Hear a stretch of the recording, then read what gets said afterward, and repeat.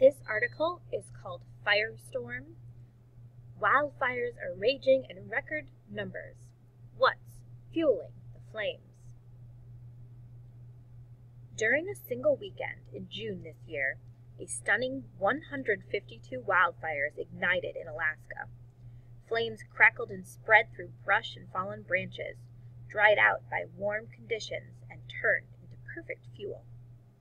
More than 5 million acres of Alaskan forest have burned so far this year, an area larger than Connecticut. This year may end up with the most extensive wildfires in the state's history. Alaska wasn't the only state on fire. Blazes raged across California, Washington, and much of the rest of the West. Thousands of people were evacuated as flames threatened homes. Extreme fire seasons like this are becoming more common. Before 2000, more than 8 million acres had never burned in a year in the U.S. since 2000. Since 2000, there have been six years when that happened. This trend could be the new normal. Fire starter. Wildfires happen when three factors come together, says Matt Jolly of the U.S. Forest Service. Jolly is an ecologist, a science who studies the connection between living things and their environment. The first factor is the weather. Hot, dry, and windy conditions dry out pine needles, branches, and other dead plant material on the forest floor. That material becomes the second factor, fuel. Once weather conditions and fuel are in place, all that's needed is a source of ignition, something that starts the fire.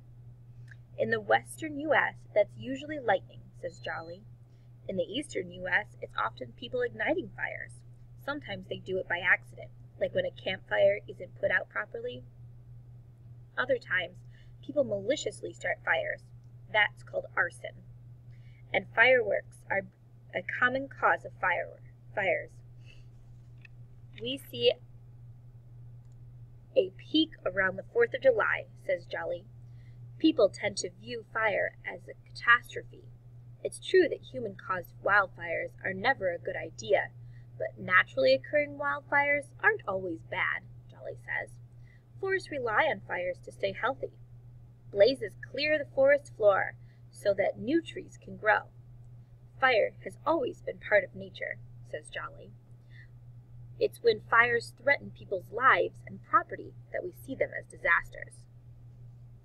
Mapping the flames.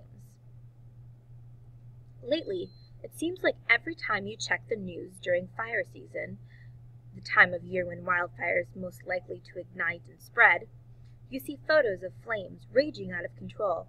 The timing varies widely depending on local conditions, but summer and fall tend to bring many fires in the West. Are there really more fires there than there used to be, or does it just seem that way? Jolly wanted to find out.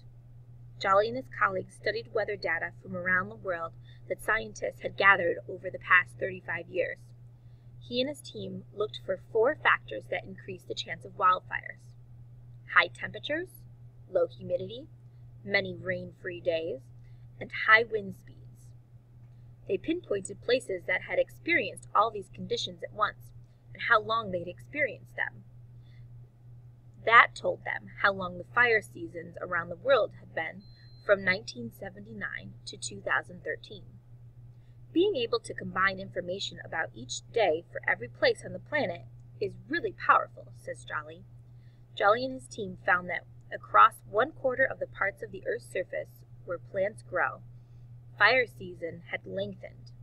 Globally, they found that fire season has gotten more than 18% longer, from 18 days to 22 days on average.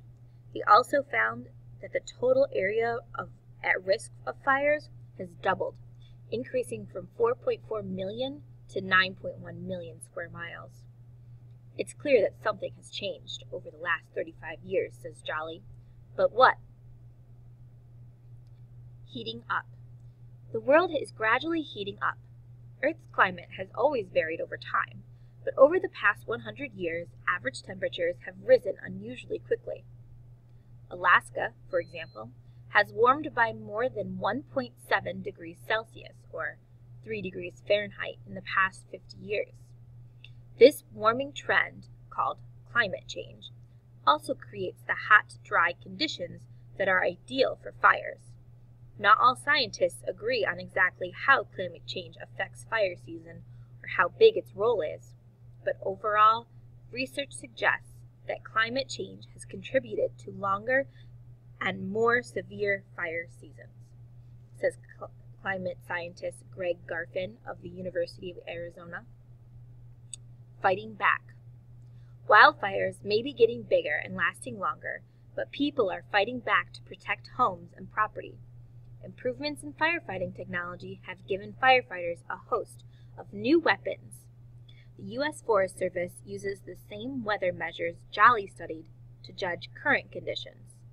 The agent uses the data to create a fire danger rating that indicates how likely it is that fire will strike any given area in the near future.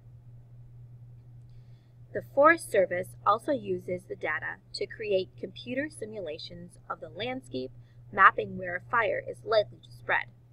The simulation tool can make predictions as far as two weeks ahead of time.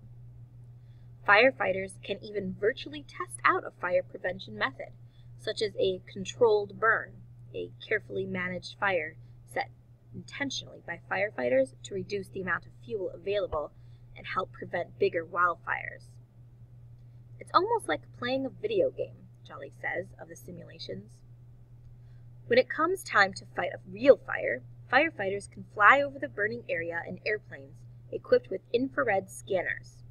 The scanners allow them to find out exactly where the fire is burning, even when it's too smoky or cloudy for them to see well. That precise, up to the minute information helps them devise a plan of attack. With these new tools, firefighters can use smarter strategies than ever before to battle blazes and if scientists are correct, they're going to need all the help they can get.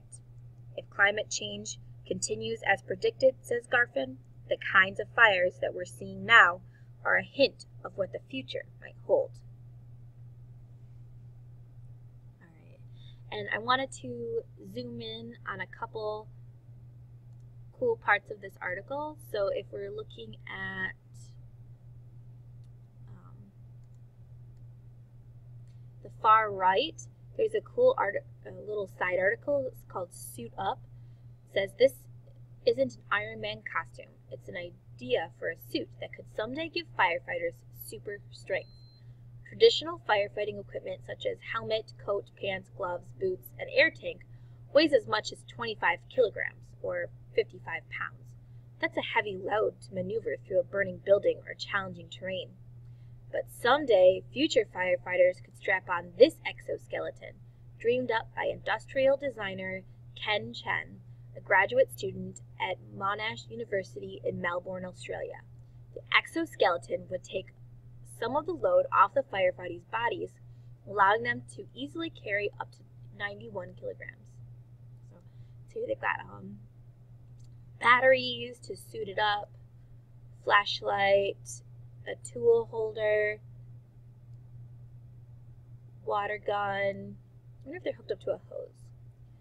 Um, emergency release system. And then this thing seems pretty cool. It's a foot weight transfer system so that all the weight of the suit isn't on the firefighter. It actually gets transferred down to the ground, which is interesting. Um, on the other page, there are some pictures. There's a car that was destroyed during a wildfire in September. Um, there's a picture of one of the methods they use to control fires, which is fire retardant. It helps to, to stop it from spreading. And then the last picture is actually a controlled burn.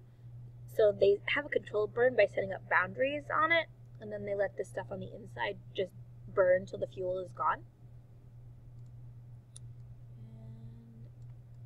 Think that's it. So that's the article Firestorm.